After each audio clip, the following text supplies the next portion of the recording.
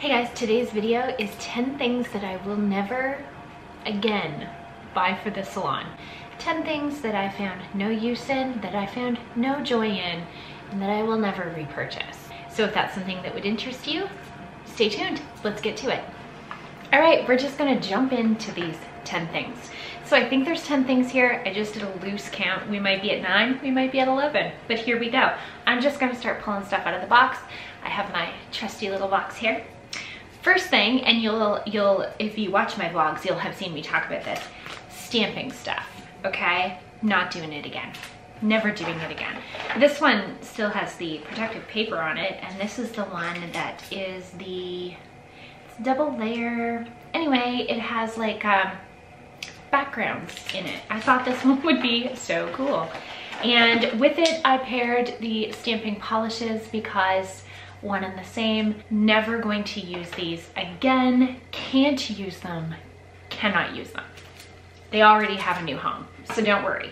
They're not going to waste. The next thing that I have here is from Artistic, but it's not necessarily the brand, it's just the product. I got the putty in blush pink thinking that I was going to use it and that I was going to get use out of it, whether it was doing 3D or maybe doing my own nails with it. I kind of thought that would be something that might be fun.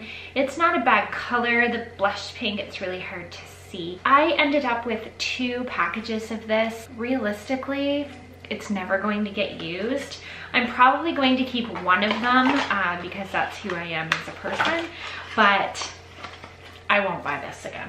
The next thing I have in the box is the Apres Art Inks I, you guys, am never going to master these. Uh, if I want an art ink sort of look, I use Sharpie markers or I use gel polish and acetone. The art inks for me have never been a hit. You know, I use them and I'm almost never happy with the results. I really like Apres as a brand, but the art inks situation just isn't for me, so that's a no. Next thing I have here is Light Elegance Perfect File, 100, 180. I keep losing the box. So you guys would have seen these probably in other videos. I'm not a huge Light Elegance fan because I don't do gel nails. I do acrylic and I know they have an acrylic line, but I just never kind of went with the Light Elegance. I really wanted to love it. It just really didn't work out for me. I bought some buttercreams. They were okay, but I never did really repurchase them.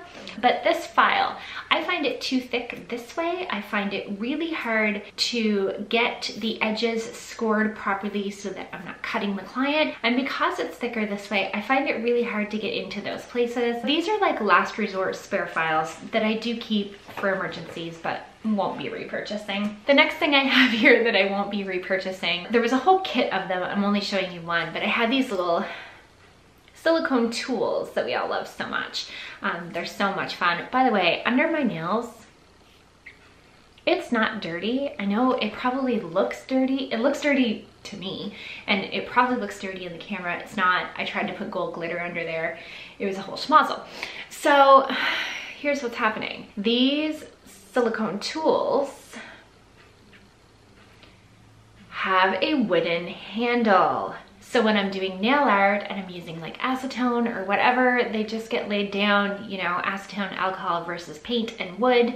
They look awful. They really haven't been used that much. I'm always embarrassed to reach for them. So I'm embarrassed to reach for them because they look gross. But on the other hand, I don't want to throw them out because I don't want to be wasteful. So anyway, Probably, no probably about it. Not purchasing wooden handles again. The next thing on the list that's going to be a never again for me is so simple. These little block buffers. I hate them. I hate them. I don't have anything else to say about that. I hate them. I rarely use them rarely. I kept them, I originally was purchasing, I originally purchased them because I thought they would be cool as a disposable buffer if I needed one for nail art. But then I repurchased again when I was selling press-on nails because these were a really good little buffer. Um, but now I have a few left over and I'm just kind of slowly working my way through them. I have never found a use for a buffer, kind of funny, but never. So I'm gonna use those. I probably have enough to last the rest of my career and I will never repurchase. The next thing that I'm not repurchasing, whoa, isn't brand specific. In my hand, I have an OPI Bond Aid pH balancing agent, but this goes for all Bond Aid, Bond X, primer, pH balancer, prep product. There is no other for me for me, in my opinion, than Protein Bond. I love Young Nails Protein Bond. I really don't use any other Young Nails products, is kind of funny, but no more of those for me. Protein Bond is the way to go. I love it. So the next three things that I have, I haven't been keeping count. The next three things that I have are all the same brand. I'm not picking on these because of the brand. These are just three specific things that I will never order again because I did not love them. The first thing is the Enail Couture Shine E top coat. So tack free. I was using it, um, when we first started doing ombres and chromes and stuff over tack-free top coat that you would cure for like 10 seconds, that's when I first started using it.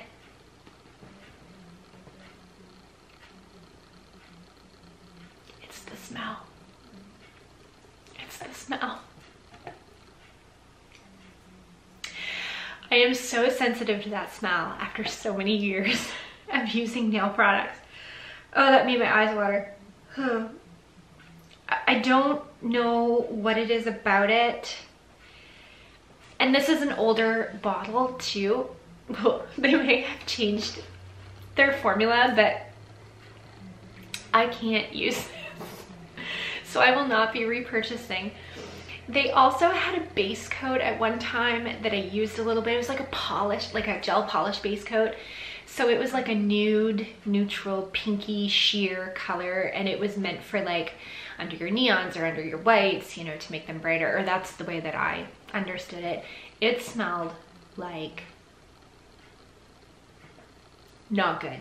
It smelled not good. So here we have from Enail Couture again, the gummy jelly. So the gummy jelly was for putting on stones. I used the whole thing. Actually, this is going to be I mean, it's, I pretty well used the whole thing. I'm, I'm going to throw this out because I'm not using it again and I'm not reordering it again. I use now Stick It from Ugly Duckling and that's the bomb. So I have no need for this. It wasn't good it wasn't good. The next thing, the last thing, also Enail Couture, again, I'm not really picking on them. It just happens to be three separate products. It's their velvet, it just says velvet. So it's a velvet matte top coat and it's in this fun bottle little crown on top. Isn't that cute? Okay, if that will come off, maybe I would keep it.